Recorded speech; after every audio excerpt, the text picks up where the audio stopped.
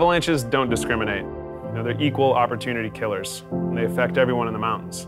You know, whether you're snowboarding, skiing, snowmobiling, sledding, cross-country skiing, hiking, snowshoeing, extreme snow angeling. If you live close to snow-covered mountains, you need to know about avalanches. It really just goes with the territory. Everyone's really excited. A fresh storm had just come in and dropped over two feet of new snow. There's blasting rock and roll music, and, and you get to the exit point. So Mike was finishing his ski cut, and instead of waiting, he just charged right into the slope. And in his first turn, a huge rooster tail of powder came up, and everyone in the group started cheering, yeah, go get it! And then in his third turn, we saw the slope just start to crumble completely.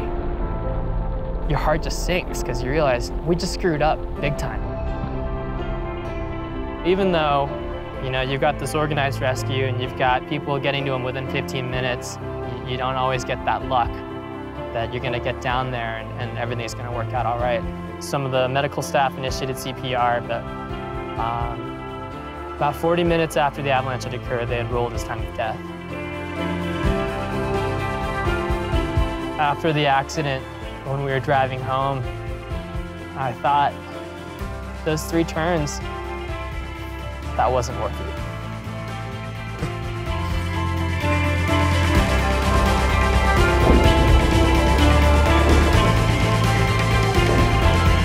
Avalanche accidents are so tragic because they affect the entire winter community.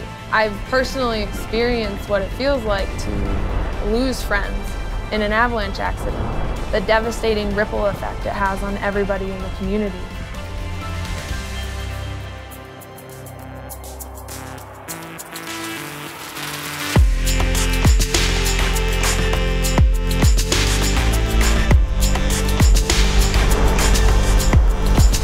what is an avalanche? There's a lot of different kinds of avalanches, but the kind that causes the most trouble are what we call dry slab avalanches. Slab avalanche is like a monster in a horror film. It lies underneath the perfect facade, of this enticing powder. And it's just waiting for a trigger to come along, like you, to collapse that weak layer, and then that collapse just goes outwards in all directions. The slope just shatters like a pane of glass, there's no escape. It rockets down the hill, bounces you off trees and rocks on the way down, tumbles you over a cliff. I mean, does any of that sound dangerous to you? I was not aware and I did not comprehend the dangers that were out there that day. When I triggered the avalanche, it wrapped me up immediately. Not a second later, I was hit in the back with what felt like a truck. I didn't even have a chance. I ended up laying there in the snow with two broken femurs and my broken left arm for between seven and eight hours. I've had a total of four surgeries, still in therapy three days a week, trying to learn how to walk again and get use of my body again. Avalanches are very violent events. One out of four people are killed by the trauma of hitting trees and rocks on the way down. And after they tumble you to the bottom, then the avalanche debris instantly sets up like concrete. You can't just pop up out of this. Somebody else has to get you out of the snow. Really fun day. It was beautiful powder snow, blue skies, sunshine, just pow shots, nothing extreme. We weren't trying to get gnarly or anything. Came around the corner, dropped in. It was great, and then saw cracks shoot out all around me.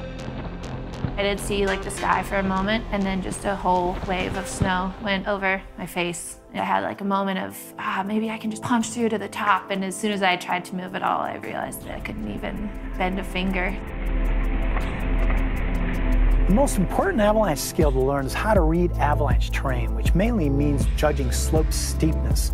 Almost all avalanches occur on slopes steeper than 30 degrees, but you know what? When the snow is sketchy, we can still have lots of fun playing on mellower terrain. We just want to make sure we're not on, underneath, or even connected to steeper slopes. The bottom line is the only time we should even consider getting into steep terrain is when we have safe avalanche conditions.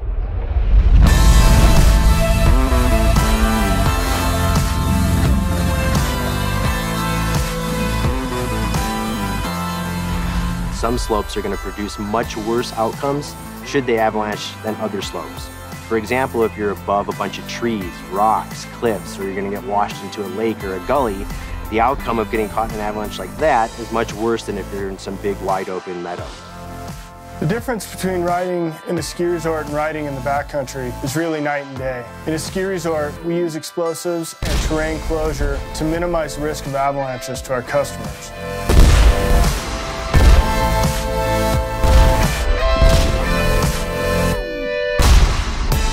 But outside the ski area, once you step just two feet over that rope line, you're in a totally different environment. Anybody that's going into the backcountry or thinking about going off-piste at a resort really needs to understand that it's a totally uncontrolled environment. There isn't any ski patrol, uh, they're not bombing or doing any avalanche control. It can be really dangerous. So essentially you need to be, you know, your own avalanche expert. So in nine out of 10 avalanche fatalities, they're triggered by the victim or somebody in the victim's party, which is actually good because it's not like getting struck by lightning. We have a choice. That means if we learn something about avalanches, we can avoid getting caught in avalanches.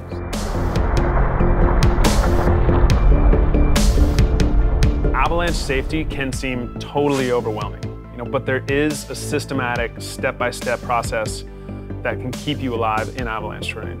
Just knowing five basic things can prevent most avalanche accidents. Get the gear, get the training, get the forecast, get the picture, and get out of harm's way. Everyone who goes into backcountry avalanche terrain needs basic avalanche rescue gear. You need an avalanche transceiver, a shovel, and a probe. And you need to practice a lot to know how to use all of this gear because your friend only has about 15 minutes to live buried beneath the snow. A lot of people also use an inflatable avalanche airbag backpack that will help them rise to the top of avalanche debris. How well does this avalanche rescue gear actually work? Well, for one out of four people killed in an avalanche, they're gonna die from trauma. They're gonna hit trees or rocks on the way down the slope. So avalanche rescue gear isn't gonna do anything for them. The rest of them die from asphyxia, from breathing their own carbon dioxide underneath the snow. But it doesn't have to be that way. If everyone wore an avalanche airbag backpack, as well as an avalanche transceiver, two out of three people who die from asphyxia would still be alive. The bottom line is avalanche rescue gear will only save about half of us. But in order to stack the odds in my favor, I make sure to never go skiing without them.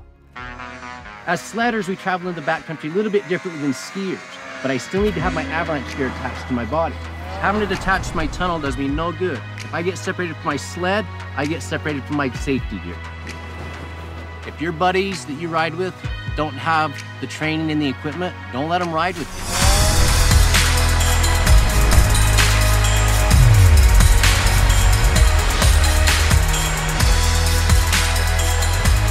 So now that you've got the gear, you've got to get the training.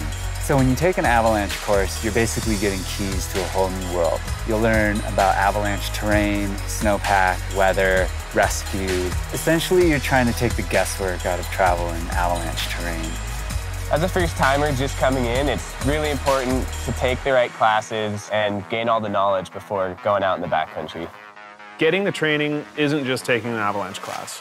It's a great start, but really it's about practicing what you've learned. You know, make it a ritual. Make it fun. You know, throw down some lunch money and do some time drills. You know, when it comes down to it, it's about having your friends back and knowing that they have yours.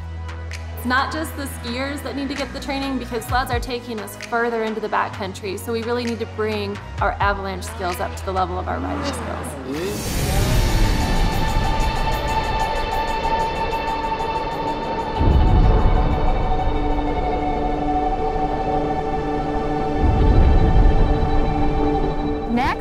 Next, you gotta get the forecast. These avalanche forecasters are pros. They're gonna tell you everything you need to know. They're gonna tell you about the snowpack. They're gonna tell you about the weak layers. They're gonna tell you where avalanches are gonna happen, where you can likely avoid avalanches. All that information is one click away. To get the avalanche forecast, visit avalanche.ca in Canada or avalanche.org in the States. Before I even get on the snow, I check my local avalanche advisory. So take the time, get the forecast. When you're traveling in the backcountry, you gotta get the picture. What's that mean? It means pay attention. Look for recent avalanches. Listen for cracking or wumping that's taking place around you. Look for recent storm snow, wind loaded snow. Look for rapid thawing. If you look for all these things, you're going to get the picture. You're going to be a safer backcountry skier. You get out of harm's way in the backcountry by first avoiding suspect slopes and terrain to begin with. We don't want to regroup in avalanche paths and we don't want to stop or regroup in runout zones. Some of my best advice I can give you is when we're out hill climbing and there's a bunch of us, don't go park right at the bottom in the avalanche path. Park on the outside, stay out of harm's way. Just like you ski a slope, one person at a time, once you're at the bottom, get out of the way of the avalanche path. We want you to realize that avalanches are dangerous, but you can avoid getting caught in them. First, get the gear, but then you've got to get the training before ever going into the backcountry.